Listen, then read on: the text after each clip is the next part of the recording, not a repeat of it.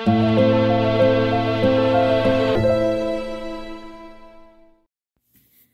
welcome back to the channel. Uh, today we have a Buck Spitfire. Cool looking little knife there. I like that uh, blade geometry. Snap in. There we go. I like that blade geometry and some nice, um, nicely colored aluminum. Kind of has a finish. You can feel it, a brush finish to the, the uh, aluminum. I would call that burnt orange. Clip on the back little jump in here. Nice little knife. Um, uh, I've got some issues with this knife though. So um, this is the Buck Spitfire 722. We're going to talk about it in an upcoming video. I'm going to let you know uh, what my problems are and whether you should buy one of these knives.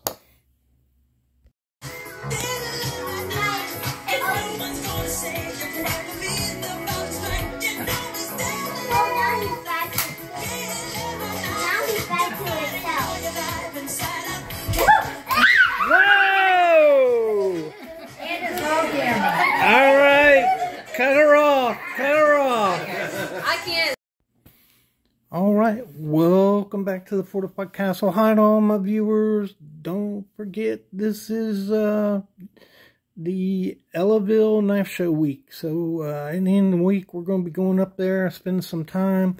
On my way up, I'm going to hit some uh, pawn shops. On my way back, I'm going to a big flea market, market just a little north of Columbus.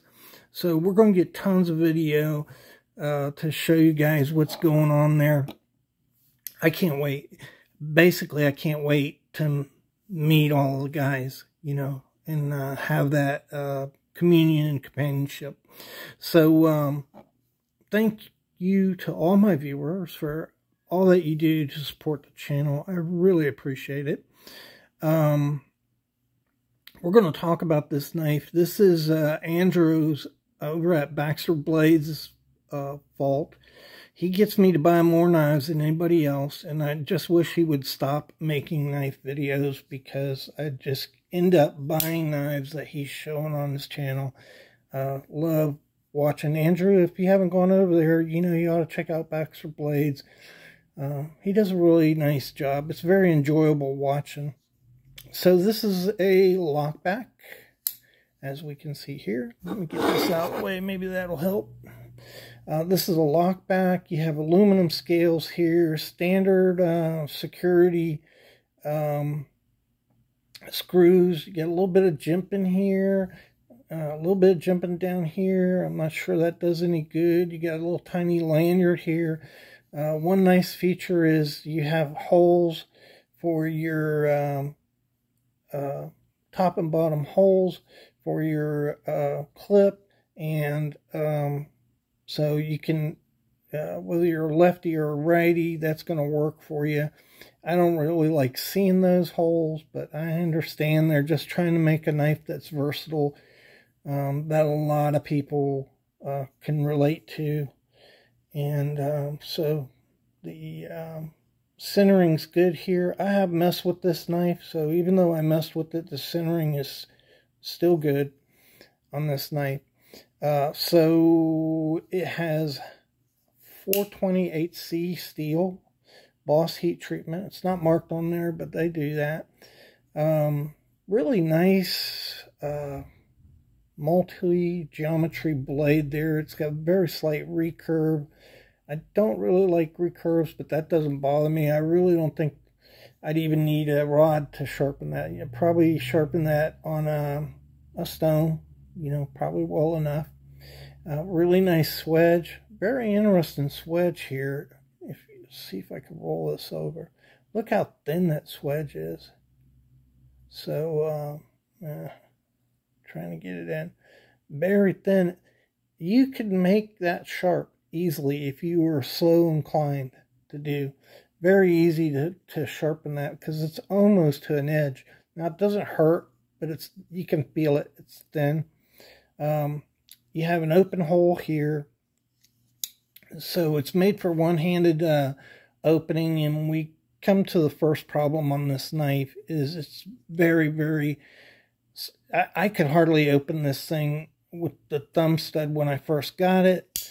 Uh, eventually I loosened the pivot up on it and I can do it now, but it's still uh, very, very stiff.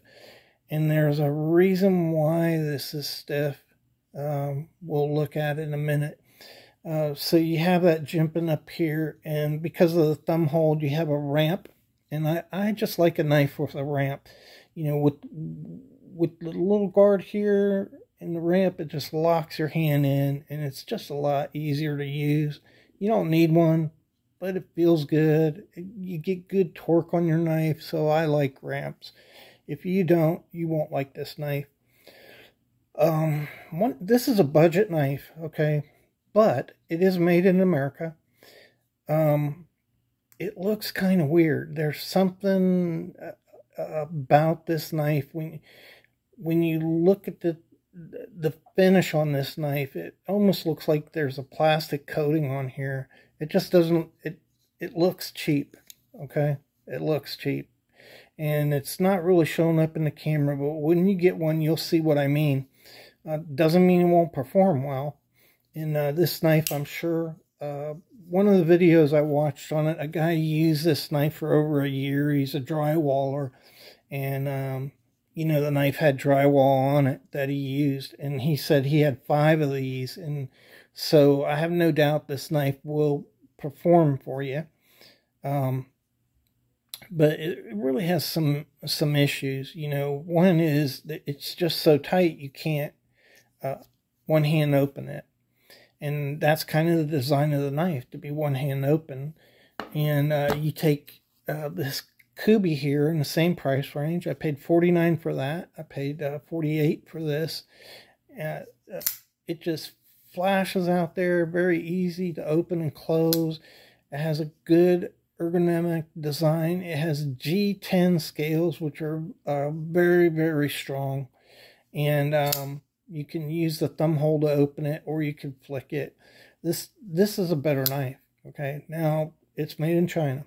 So if you just want American, here's your American knife. Um, so if you just want a basic knife made in America, I have no doubt that this will work. When you get these, um, most people will honest and point out that they're hard to open. Uh, there, it feels very gritty. They're very tight. And as I said, I could hardly open mine when I first got it. I had to loosen the pin up. So why was it that tight? Well, when you look at this, I think it's really apparent. Look, let me zoom in here. So this is a solid two uh, millimeters right here, and you can see how much smaller the lock bar is than this and it's about 10% smaller. So the lock bar is about 1.8 millimeters. And if you follow that lock bar up, and I got the knife shut, if you follow the knife bar up, the stock on the, the blade is the same width as the stock on the um, uh, uh, lock bar. And that's a problem, okay? Because it's wider here by by uh, two thousandths than it is here. And when I got this knife, I'll show you here. When I got this knife, there were no gaps here. They were it was pretty tight. But it was tight because they over torqued this and pinched it's the blade is pinched in there uh, to prevent these gaps that pop up in the blade. And the gaps are there because, watch this, you could just take the blade, the lock bar, move it over. You see that? you, could, you just move that lock bar along the pin. See the gap opening up right here? So this lock bar, here's the pin, the lock bars can be slid across. I don't think that's really good for the uh, lock bar pin uh, to begin with. So let's get back out of here so we don't get dizzy. So that's an engineering problem. This knife has been out a long time and um, you solve that in two ways. So uh, Buck needs to take this spacer down to 1.8 inches, the same width as the lock bar in the blade. And then I believe it would be smooth as butter. It wouldn't, you wouldn't have to pinch the blade to, and I know that's what they're doing because that's the way mine came. Uh, they're just pinching the blade so that you don't have these lines in here, which most people would pick up and say, oh, that's not made very well. Well, guess what? It's not. That's because it's not. So the other option is to make this bigger, right? So instead of making, I think it'd be easier to make the backspacer smaller, but you could also make the stock bigger. If you went to two millimeter stock for the lock bar and for the blade, it, you wouldn't have to pinch it. And so as it is now, the knife is being pinched like this, and it should be like that so that the blade can pivot in between. And um, that's the problem with this knife. And um, I really don't understand how companies uh, can't fix a freaking problem like that. This would be a fantastic knife if it you could open it with one hand and it worked the way it was supposed to. Um, it doesn't because it's not engineered properly. You know, the two stock difference here is causing a problem. And um, if you you you can loosen this up, I had it looser by the way, uh, and it is a lot easier to open up when it's looser. Um, but also the gaps were wider, and I was worried about this thing moving back and forth and what that would do to the, the uh, pivot pin.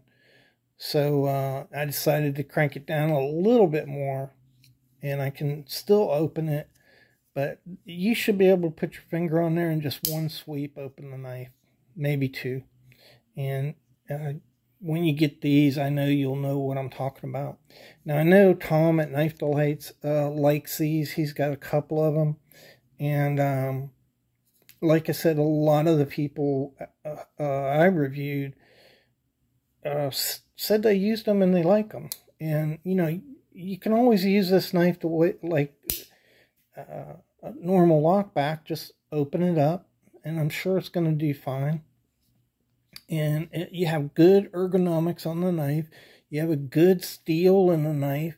You have excellent blade geometry. I mean, it's kind of stunning. It goes down to a very, very thin blade there. Um, so this will be a great slicer, a great knife for cutting rope. Um, you know, this guy was using it in drywall, uh, cutting drywall. And, um, you know, obviously these knives will take abuse, but they're also don't work the way they were supposed to work. And, um, you know, I think Buck just needs to redesign it in the way I mentioned. It's got a good kind of goofy, um, you know, uh, uh, pocket clip. having a hard time thinking here. Uh, it doesn't present a hot spot, and that's a good thing. And you know, that's really the biggest thing to me. Uh, I I just seldom find that I have a trouble putting a, a knife in my pocket with a pocket clip. Uh, if it is kind of strong, if you find that that's not working real well, just bend it up a little and take some of that uh, spring out of it. And I think it worked fine. I didn't have no problem putting it in a pair of uh, tactical pants. So, um, uh, what else is there to say about this knife? It's a pretty simple knife. It's a budget knife. Would I recommend that you go out and, and uh, buy this knife for $49? No, I wouldn't. Um, there are a lot better options out there for $49. And, um, you know, I, I'd have to go that way. If you just want an American knife, then okay, you know, it'll work for you. It'll do a good job for you. It's a good design uh, for the knife, ergonomic, good blade, uh, strong lock on this knife. You can see that right there. You can hear it. Um, but, you know, um, it's just never going to be right unless they fix this problem of differentiated metal between the front and the back.